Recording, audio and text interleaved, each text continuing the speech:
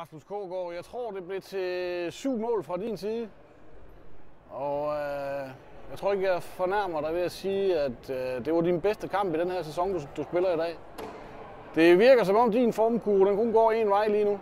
Er det rigtigt? Jamen, det er rigtigt nok. Det har han gjort et stykke tid nu. Øh, ah, okay, ikke et stykke tid, men han har gået, på det rigtige tidspunkt har det gået den rigtige vej i hvert fald. Øh, det har været meget svingende over for mit vedkommende, og det har der også været det har jeg også haft mine ture med. Øhm, så det var virkelig dejligt at brænde, øh, brænde sådan en kamp af her i Randers, selvom, øh, selvom vi spiller mod øh, nedrykkerne. Men vi tog stadigvæk op for at, få en sejr og få noget selvtillid inden vores kvalkampe.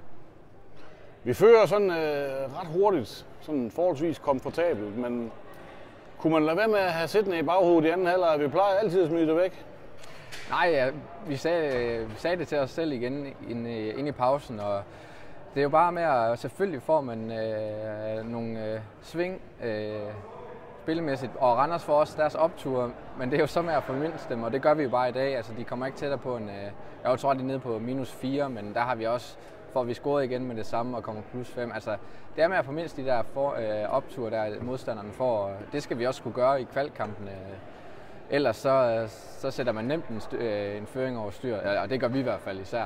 Det går ret hurtigt nogle gange, så det var fedt. Så plus 8 uden Irming og Christoffer, det er godkendt?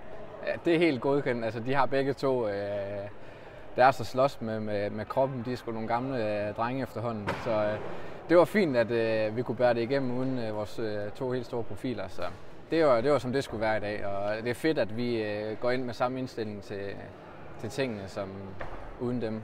Det var, det var super.